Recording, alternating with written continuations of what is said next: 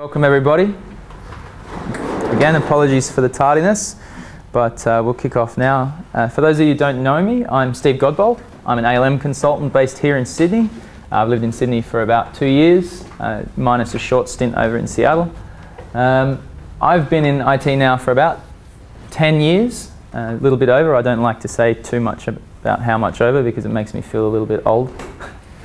um, three decades. Three decades, yeah. yeah. Um, so, my passion in the, in the industry is uh, continuous delivery. I, in my job, try and help companies or help companies deliver value to their customers as fast as they can. Um, and I love to focus on the process side of continuous delivery. So what I've found is that a lot of the talks that we see these days on continuous delivery focus a lot on the practices, on the technical pieces that go towards uh, delivering a continuous delivery pipeline. Uh, and not a lot of them mention the foundations of continuous delivery, the process side of things, where it is actually based in, and the thinking that's behind it. So all that lean thinking, etc. So what I'd like to do tonight is have a bit of a chat about how process impacts continuous delivery, what kind of things you can expect depending on the process you're using, and what kind of things you can do to improve your process to get more out of your continuous delivery efforts. Uh, the way we're going to do this is I'm going to start off with, uh, actually before I go into it, how many of you guys are developers? That's what I expected. so everybody here's a dev. Cool. All right, I won't bother asking the other two questions then. Um, we'll start off with why you should care about process as a developer. So taking a look at how process impacts you and uh, as a Ninja developer, why it's important to care about the things around you. We'll then do a quick definition of continuous delivery just to scope the conversation for tonight. Uh, we'll then look at how two of our common process models impact the ability of continuous delivery to, to uh, be helpful for you. So we'll take a look at a, a waterfall model and an agile model um, and what they bring to the table in terms of continuous delivery. And then once we've gone over those, we'll take a look at how we can take either of those models and improve them in a scientific manner so that we get more out of that continuous delivery effort. Then we'll wrap up with some questions. And I was going to say sushi, but I think you've already had it. So it's all good. All right, so being that you're all uh, .NET ninjas in here, um, you're all great at what you do, uh, why should you care about process? What does it really matter? I mean, you guys cut code. In fact, you do better than cut code. You take your Ninja Blade to it and you absolutely slice and dice it. Um, you take shurikens to databases and you drop smoke bombs on service layers. Why do you care about the process that sits around your code or that sits around your efforts? First of all, a real ninja is aware of their surroundings. You can't surprise a ninja. They know everything about what goes on around them. They know when the work is coming. They know when their team members are struggling. And software delivery is all about how much you as a team can get out, not you as an individual. A high performing team will always outperform a high performing individual. So being aware of your surroundings forms part of your ability to be a ninja. And what that means is knowing your process, knowing the policies, and knowing how to maximize your, your effectiveness within those policies. The second reason is ninjas influence their situation. So if you do happen to surprise a ninja, they'll then influence the situation so that it's then to their advantage afterwards. So for example, if our process is not giving us everything we need, we'll, because we know about our surroundings, because we know about our processes, our policies, how they work, what they're intended to do, we can influence that process and policy to better suit our needs and to better suit our business needs and get more out of it. Finally, girls like ninja skills. And uh, what we need to be aware of is we need to make the most of, as ninjas, of everything around us so that we can maximize our chances of girls or guys liking our ninja skills. Um, for those of you, does everybody know who that is in the middle? Napoleon. No, yeah, nobody, everybody's seen Napoleon Dynamite? Yeah. I was tempted if that joke had flopped to do a version of his dance that he does at the end of it, but luckily. Well, I forget it. So no, no, no, no. no. Uh, the video won't cope with it. I'll have to stay behind the podium. Sorry. So waterfall again kind of falls short in its handover process in reducing the risk there. Uh, by reducing the ability, uh, reducing the possibility of unknown change, you can follow good source control practices with waterfall. There's no real limitation there.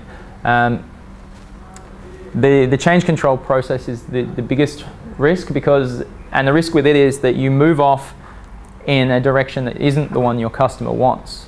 And you introduce failure demand in that you haven't delivered the value that the customer expected, and there's a lot of value left on the table there that you then have to come back and deliver later.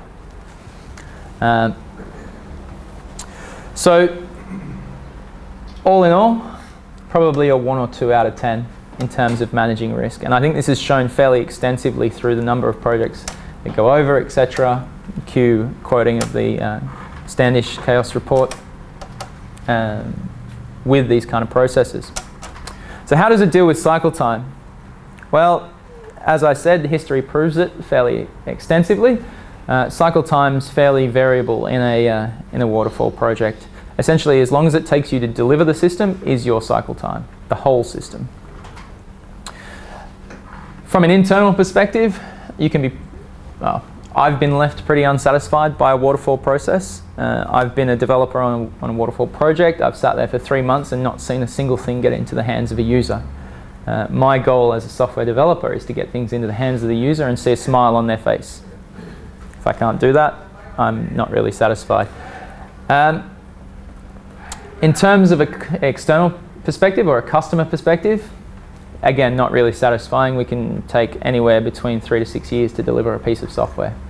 So overall, again, with our cycle time, not a particularly high mark, maybe a 2 out of 10 here. How does this add up to our competitive advantage? Essentially, we don't really get too much of a competitive advantage here. Now, I'm going to stop for a second and clarify. I don't mean when I, I spell these out, don't use continuous delivery practices within a waterfall process. Uh, they will still bring you a lot of benefit. They will still give you a lot of good things. What they won't do is give you as much as they possibly can um, because they'll be artificially limited by the process itself. Um, essentially, if you have a continuous delivery pipeline within a waterfall process, what you'll find is that you have a fighter jet capability uh, technically that you then limits to the output cadence of a uh, Spitfire. So we take it back 40 or 50 years and that's what we've got. Thankfully, in the 40 years since waterfall was first defined, we've evolved a little bit. We've come from the days of strict regimes of change control and management to understanding that change happens. Uh, what we define at the start of the process isn't always what the customer actually wants, and we need to deal with that. Uh, the Agile movement was spawned. Out of the Agile movement came everybody's favorite process today, Scrum. How many of you guys do Scrum? How many? Leave your hand up if you do Scrum with a capital S. As in, you do exactly the handbook version of Scrum. Nobody. That's about the average response. Um, so, Scrum's a, a, process first defined by Ken Schwaber and Jeff Sutherland uh, at the OOPSLA conference back in 95, actually. So, a little bit older than uh, their official history proclaims. And it was born out of the observation of these guys that really the reductionist view doesn't make sense in terms of software development and in terms of people. We learn best by trying something, observing how the system reacts to it, and then moving on in another direction based on that reaction. This is an empirical process um, control theory. Uh, essentially, we, we build knowledge based on the environment in which we operate. So the more we do, the more we know. Out of this came this diagram. You've all seen it a thousand times, I'm sure. Uh, but Scrum is basically we have a bunch of work we need to do. We take some of it, we give it to some people that we know about. They run over it for a period of time, and out of the end some, comes something that we can potentially put into production. This sounds pretty close to what continuous delivery is trying to achieve. How does it, though, help us with our continuous delivery practices? As I said, it, uh, it takes a known number of people and a known set of work and it puts them in a container or a box. And so it limits that time frame then as well down to 30 days. So what's our exposure to risk? About 30 days using the classical uh, diagram timeframe. I've seen teams come down to a week, uh, which obviously results in a much smaller batch size, which gives you that ability to reduce and be more effective in managing the risk. Uh, your teams are amorphous, so they're, they're basically everybody lumped in together in Scrum, which increases that ta tacit knowledge as continuous delivery tries to do. Uh, and you're allowed to self-organize and do what you need to get together across the line. Um, the furthest we go also um, in terms of how far we can deviate from customer expectation, furthest we go is that 7 to 30 day period uh, that our delivery cycle lasts for. So we're reducing that ability to move off track, we're reducing the batch size, we're doing much better in terms of managing the risk. Uh, so Scrum's not too bad in terms of risk management. How does it do in terms of reducing our cycle time? Well, our cycle time is really whatever we define as the length of our sprint, right? Uh, from an internal perspective, work can be delivered fairly quickly. We can get a product backlog item to use the terms in the Scrum template uh, for Team Foundation Server.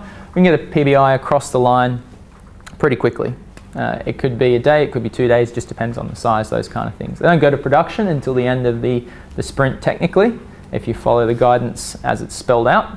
Uh, but you can get stuff done and you can get a fairly good uh, sense of achievement from watching it progress across your board. Uh, a single time box is generally your maximum delivery length, so you've only got seven days. So you can turn things around for your customers fairly quickly as well. Where Scrum falls a little bit short in terms of dealing with delivery times or cycle times is for failure demand. So defects that appear within the process, within the time box, it deals with really well. It's not done until it's done. Right? So if we have a bug, fix it. What happens though when we ship that software and Snoopy here goes onto our site and he buys something, maybe a pair of new socks or some ear warmers, and he puts in his credit card details and finds that when his bank statement, when it comes in, that somebody else has gone and hijacked his credit card details from our site and gone and bought a whole lot of dodgy stuff across a whole lot of dodgy stores on the internet. He's not real happy, so he sits down and writes us a letter and we get that letter and we say, oh, well, that's a pretty important bug, we need to fix it. But we're in the middle of a sprint. What do we do? According to the guide, we have two options. The first thing we do is we put it at the top of the product backlog because it's the most important thing. We then can either cancel our sprint and immediately start work on this item in the new sprint. The problem is if we cancel our sprint, we've got inventory. How do we deal with that inventory? What do we do with it? There's a whole range of questions and answers that fall around that area. I think with the extension of Scrum that's now available, that body of knowledge that's going to build up there, will start to answer some of those questions. But a lot of people tend to drift off into these unproven theories that they have themselves, some good, some bad, uh, generally untried and untested though. Uh, the other option is that we wait until the end of the sprint, ship our current inventory, pick it up in the next sprint, and roll on with it. The problem here is if we've got a 14 day sprint, so let's say two weeks, which is kind of the average of what I see now, people are erring towards two weeks. If we're halfway through, we've got a seven day period and then another 14 days on top of that before we deliver. So our cycle time's one and a half, at most kind of two sprint lengths before we can get that out. So we're not really getting that out as quickly as we could. And uh, in the case of Snoopy getting his credit card details hijacked, it's probably pretty unacceptable. Now, of course, that's if you stick to the guide. Um, there are exceptions. We all make them in terms of Scrum. I'm not saying it's right or wrong to make the exceptions or not, just that we do. Okay, so how does Scrum enable our competitive advantage? Uh, it does a pretty good job. We're going to do much better than a lot of waterfall teams.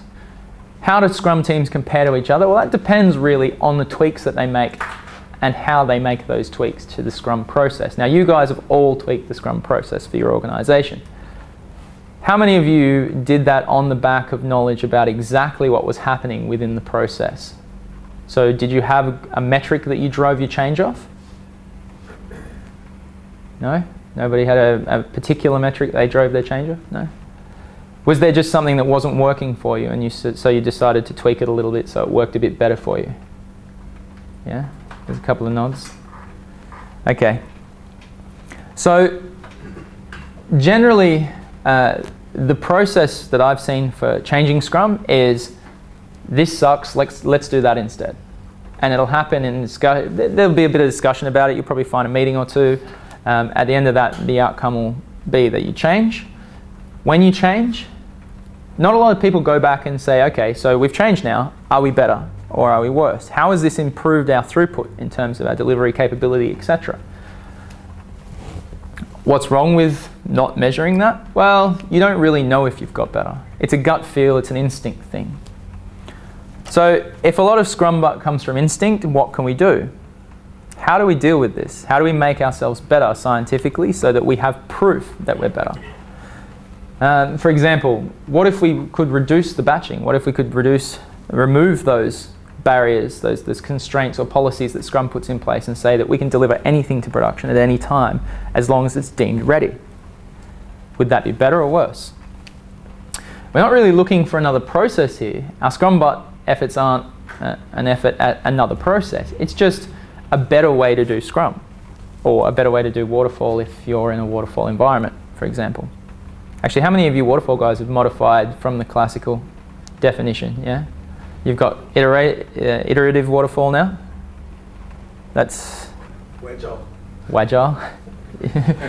I haven't heard Wagile before. I like that one.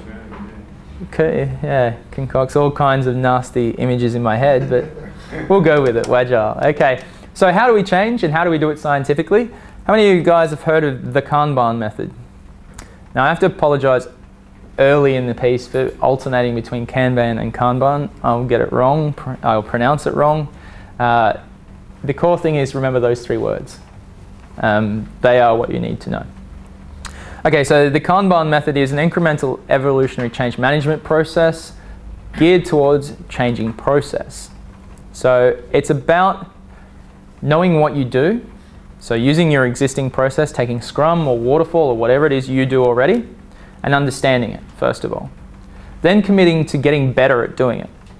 Uh, incrementally and evolutionary changing that process so that it suits your need more. Uh, and unlike other agile methods, it doesn't preach a systematic change. You don't have to go and change your organization. You don't have to change the roles you perform. If you're a project manager, you're a project manager. You don't have to become a scrum master overnight to fulfill what Kanban uh, requires of you. Uh, so those, those are the three guiding lights in Kanban. Use your existing process, commit to change, and use your existing roles and responsibilities. Don't change the people, don't change the organization, don't change the process. Start with what you know. There's then five practices and tools that sit within Kanban to help us evolve. The first of which is visualize. How many of you guys have some kind of board that shows you where your work is and how it's going? Yeah, a couple of guys, a couple of scrum boards out there. I was hoping there'd be a whiteboard in here, but there isn't. I was going to evolve a scrum board into a Kanban board for you. Uh, but so this is roughly what a scrum board looks like. Whole lot of to-do doing done. The difference between a scrum board or a primary difference between a scrum board and a, a Kanban board is that Scrum, because of the way it organizes that middle part of work, the doing piece, where everybody just kind of swarms on it, we get it done no matter what role we're fulfilling at the time, it is a big fat doing phase. There isn't any distinction between this is now in development, this is now in test, this is now in user acceptance, now we're done. What Kanban does is it says go and understand what you actually do. So if you're not a self-organizing team, which a lot of teams actually aren't, don't pretend on your board like you're a self-organizing team and like you do everything at once. If you have phases within your process, map the phases onto the board and make it represent your reality so that you can see the work flow through the system. Um, the other difference is that work is pulled through the system. So if we do have those phases and we have, uh, for example, a dev then a test progression, if a developer finishes a piece of work, they don't get to throw it at the tester and say, this is done, go, which is fairly common in a lot of your standard processes. If I'm done as a dev, I then mark the work item as ready for test and just push it over to them. It's their problem now. Um, that in a waterfall process is equivalent to moving between the transitions or steps. We've got a whole bunch of work and we're just going to say test, it's yours to deal with now, whether they have the capacity or not. Um, what it does is moves to a pull-based system. And a pull-based system means that I as a tester get to decide when I take that work. Do I have the capability or the capacity to do it right now? Yes? Cool. I'll take that on and get it done. What this means is that we have a lot, less inventory or waste within the system. So I've got a lot less work in progress naturally because once we get to the point at which I'm done and if you can't take it, then I just have to hold on to it for now. It's a project management nightmare from a traditional perspective, but we'll talk about why that's effective shortly. Okay, so how do we get started with a Kanban board? The first thing we need to do is define the start and end point to the board. So ultimately, we want to bring in the BAs or the, the spec writers. Ultimately, we want to have the testers and the, the ops guys in there as well. We want to bring every, everybody into this board and understand how work flows through the entire system. Reality, some people don't want to work with it. That's fine. We define the board start and end points at the points we can control. If something moves out of our control, keep it off the board because we can't manage the flow of it. What we need to do though is if, if it does move off the board is come up with some explicit contracts as to how that's going to work. This is how our system works. When you give us work, it needs to look like this. It needs to have these attributes so that we can use it effectively. When we hand you work, what do you need? So we can make sure that at the end of this board, at this done point, that we've got all those things done so that when we hand them off to the ops guys, for example, it's all ready to go according to their definition. So once we've defined our start and end point, we uh, set up our board. The way we set up our board is to do a value chain map. So literally, if you want, a pencil, a piece of paper, and talk to a lot of people about how work goes through their particular phase of the process. Uh, we then, as part of that, need to know what kinds of work we do. So everybody does different kinds of work. We have a bug, we have a, a, a work item, a general normal feature, for example, that we do. There might be um, issues or risks that get raised and progress through this in terms of resolution. We all do different kinds of work. We need to know about those kinds of work as well because they have different expectations, different delivery uh, timelines, etc., different expectations. Uh, once we've defined those, which are our classes of service, we can go on to understand the demand for those classes of service. So how much work do we get that is general uh, feature delivery, for example? So 80% our work features and 20% bugs? Or is it the other way around, which is probably more likely in most cases? Um, once you know how much of each of these pieces of, or types of work you do, you can start to develop um, SLAs around how much of that work you're going to work on at any one time.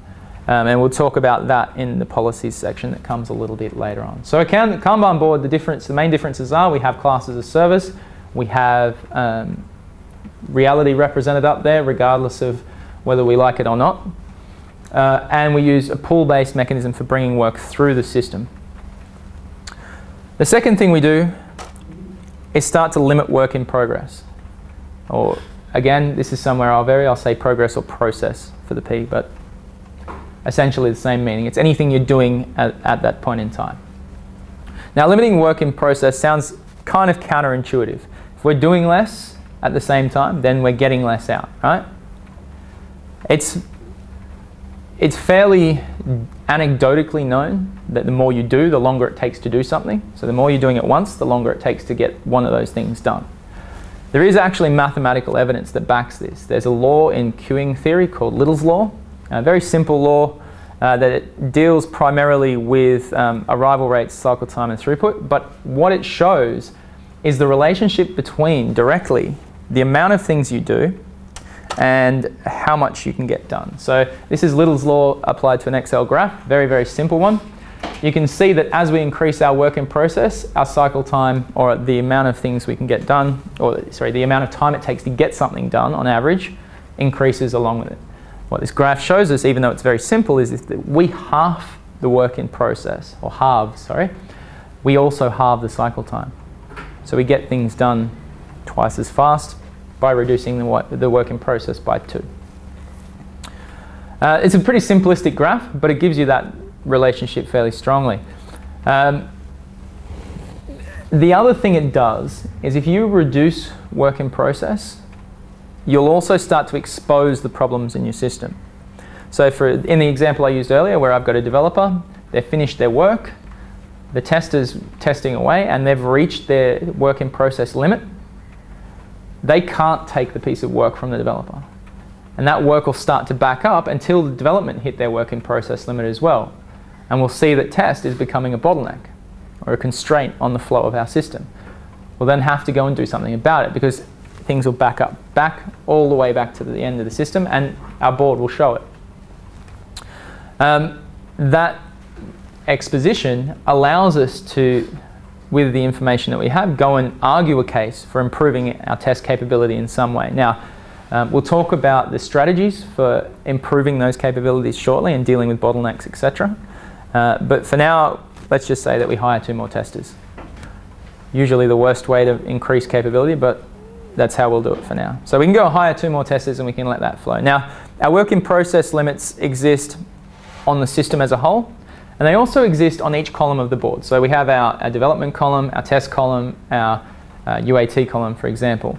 We go and put a limit on how many things that we can have in those columns at any one time. Usually, uh, as a start point, I use the number of people we have times two as our WIP limit. Uh, the reason I use times two is because you need to take into account that sometimes something will get blocked for a reason that's a very short term reason. So, for example, I'll get blocked because I'm waiting on a particular database deployment that's currently in progress. That'll take an hour. I need something to work on for an hour. I'll take a task. I'll start working on it. Any more than two is becoming counterproductive because we're starting to hit that WIP limit uh, heading up and our cycle time starts to drop. So there's that trade off between giving people enough work and making sure that we're not limiting or increasing our cycle time too much. Uh, and that is only a starting point. WIP limits are adjustable completely depending on how you see your system working. The third, and so there's five of these, the first three are the really important ones. The last two are important, but if you can get these first three working, you'll get most of the benefit of Kanban.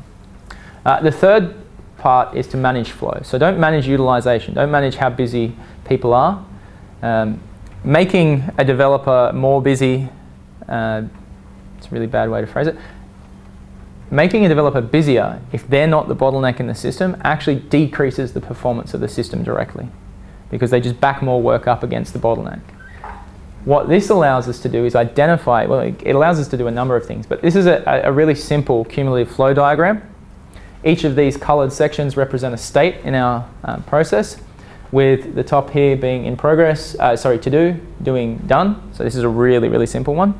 If we have more states, so let's say we had um, another to do here, this was our dev state, this was our test state, this was our done state. What we could see is we can actually directly measure our work in process here. So the distance between two lines is the work in process in that column at that point in time. So 27 and 12, 15 works, work items in process at this point in time. What you can also do here though is by drawing a horizontal line across the graph. So using the two sevens in the opposite bottom corner here, uh, we can work out the average uh, cycle time for a work item in the system. So that took uh, two weeks for the to-do line to get to the same level, sorry, the done line to get to the same level that the to-do line was at, both at seven. So our cycle time is on average two weeks for a work item as it comes into our system and goes out. That's, they're, they're the basic stats that you can use this, this kind of diagram to get. You can then see your cycle time, you can see your, your work in process. You can also manage flow by watching the thickness of these state lines or the gap between them. Now, the fat uh, line uh, means, sorry, I think of the right way to word this. If you see a fat section, so see how this is increasing here. Let's assume that's our, our dev work in process. This is our test work in process. Make it a little bit thinner. Um, what you'll notice is if this starts to get fat, the problem isn't actually in that section. So dev's not being uh, dev is not the bottleneck if the work starts to pile up there. It's actually the upstream process. So the test process in that case is the bottleneck again because the work's backing up in the dev as they complete it. Um, how do we fix this? Again, there's a couple of ways. Because we're managing flow, we're really managing how smoothly that work runs through the system. The smoother it moves through, the, the better our cycle time and our throughput will be sorry, uh, the better our throughput will be, it might negatively impact our cycle time slightly. There's a balance there. Um,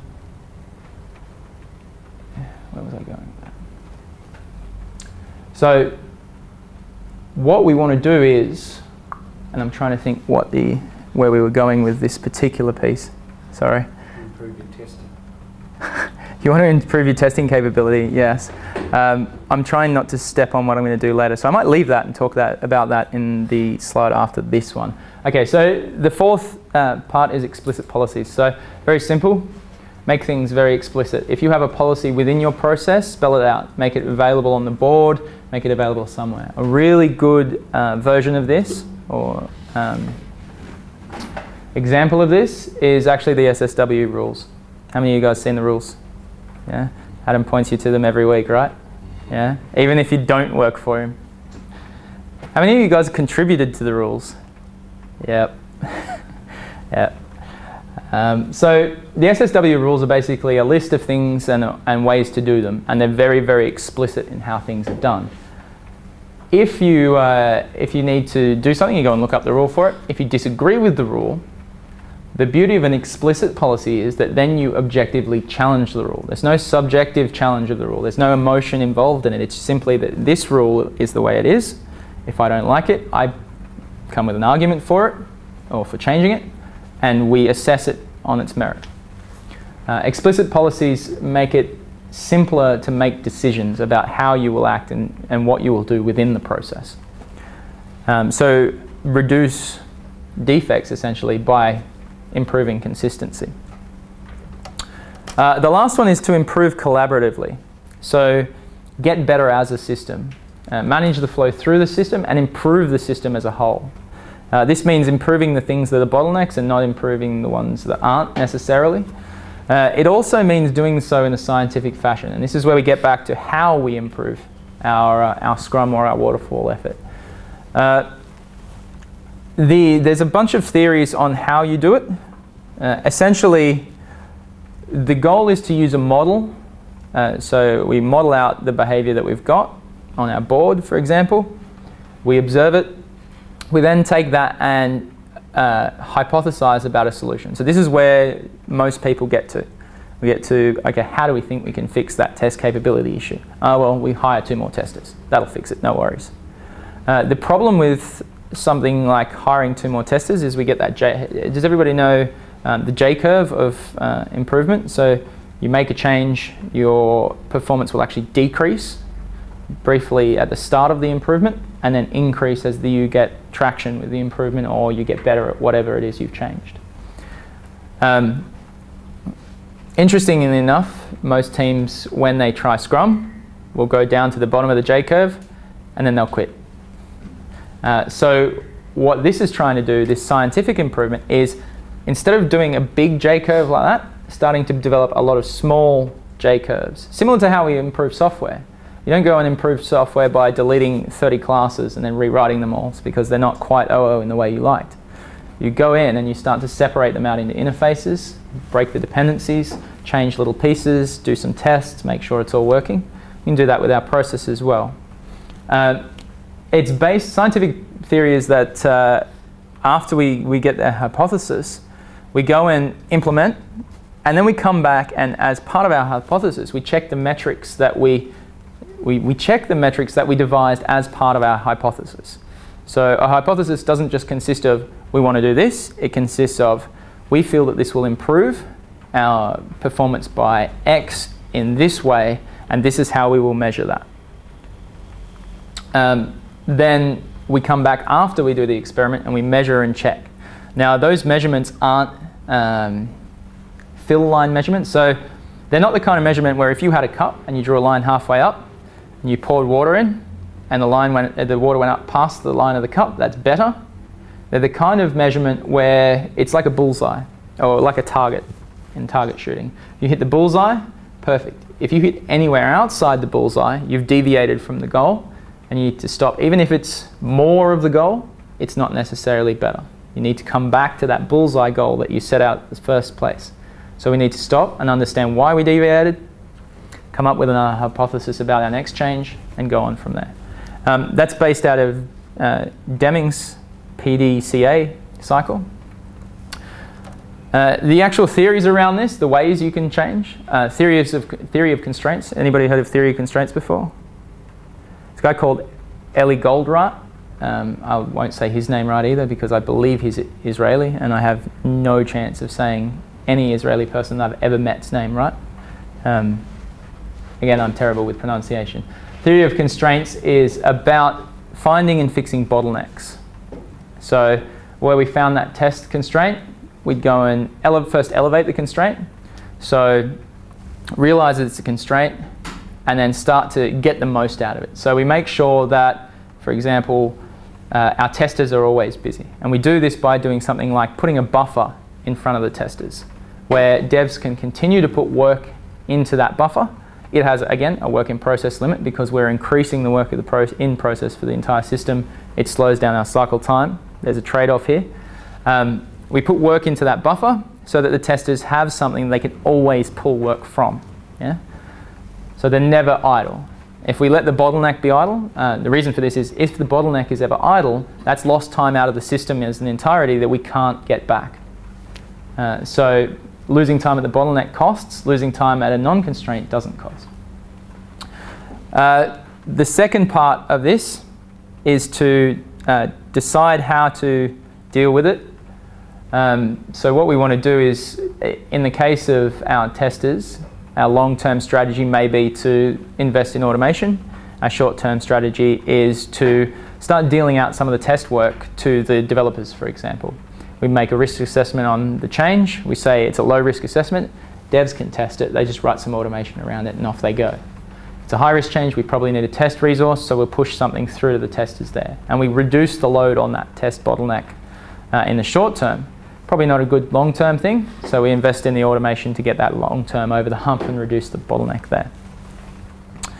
Um, all of these uh, theories are, are cycles. So once you go around once, you continue around the next time to make it even better. So if test with our bottleneck originally, we automate our testing, we come back at the end of the automation cycle and we say, okay, where's the bottleneck now? We start to observe our cumulative flow diagrams again, we look at our board and see where the work is going and how it's flowing find the next, next bottleneck, start attacking that. Uh, the second is lean. Everybody who, every, has anybody heard of lean? No. Yeah, Toyota um, production systems. Heard of that? Okay, so lean comes out of uh, Toyota essentially. Um, it's a waste-focused uh, method of improvement.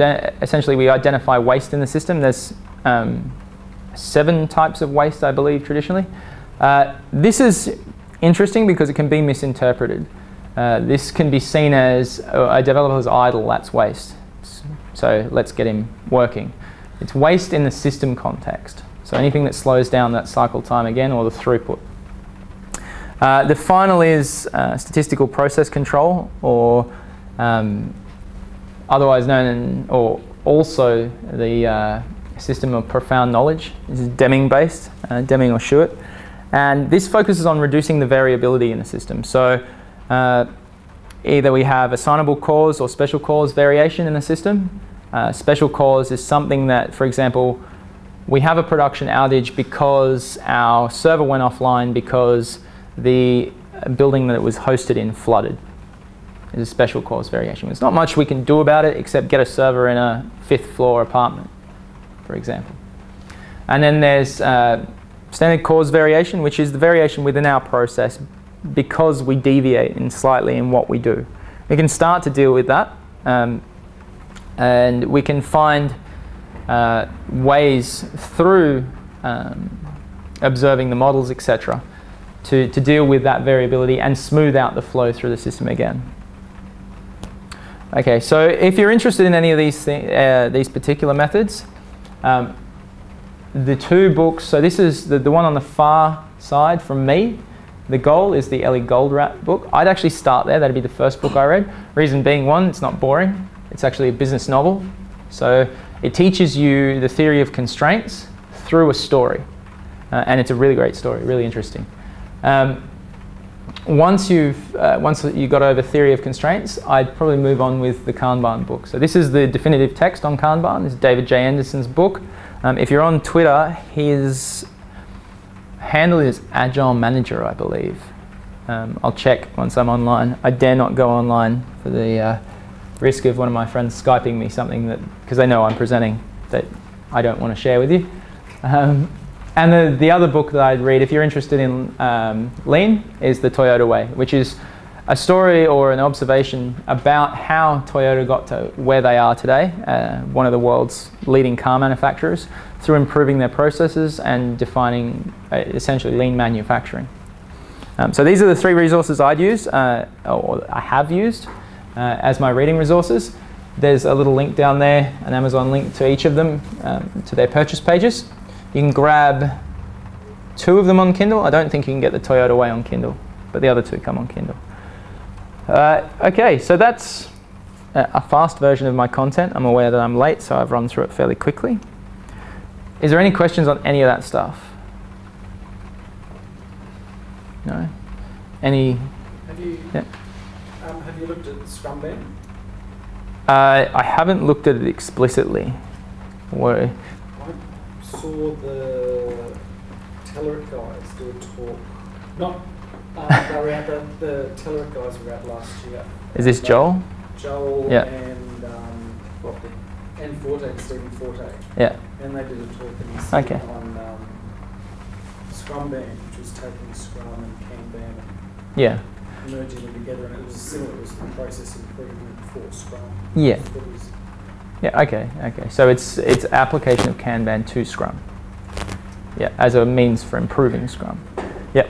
Uh, so Kanban is really great to improve any process, but it does work really well with Scrum because you naturally have those short feedback cadences that Scrum gives you. So it, it has built in a policy where um, you go through one cycle and then you you grab some feedback. So Scrum automatically gives you that ability to come back and check how you're going in terms of your process improvement as well. So you check the work you're doing in terms of the development output, etc. And also use that as an opportunity to go and check how any process change you're doing has come along in terms of your retrospectives, etc. Uh, any other questions? Thoughts? Musings? No? Okay. Favorite tools? Favorite tools. Um, so if you're using TFS, unfortunately you won't get a cumulative flow diagram out of the box. Do you guys have a cumulative flow diagram in your tools? Uh, yeah, play, play diagram. So something that gives you this kind of thing. It's not it's not a burn down chart. It's more just a visual representation of count of work in different states. I think people has such reporting. So Team Pulse may have that out of the box. None of the process templates do yet. Uh, I submitted a patch to the Scrum for Team system that allow you to start to build some of these reports. I haven't built the reports yet myself and submitted them. Um, but you can get a cumulative flow diagram in it out of TFS. It's fairly simple to get the vanilla version, so just take the states, sum them, and put plot them on a, a graph. The problem is you need to make sure that they're in this particular order. Uh, if you flip them around, you start to lose the ability to do that um, direct horizontal and vertical assessment of our work in process and our cycle time uh, at a quick glance. Uh, there is a, a visual whip board that sits on top of TFS. So if you want to, um, if your work item state's already mapped to your process directly, uh, there's a tool called Visual WIP that gives you your Kanban board as a digital thing. Uh, I don't know how it goes with tactile surfaces, so for example a touchscreen, but uh, I do know that it works quite well with a, a, mouse and keyboard. So if you've got a projector and a big board, project your Visual WIP system up there directly out of TFS. And that's, yeah, so that that's just an add-on for TFS. Yeah, yeah, yeah, yeah. yeah. It just runs over the top of the obje- object model. Yep. All right, thanks guys.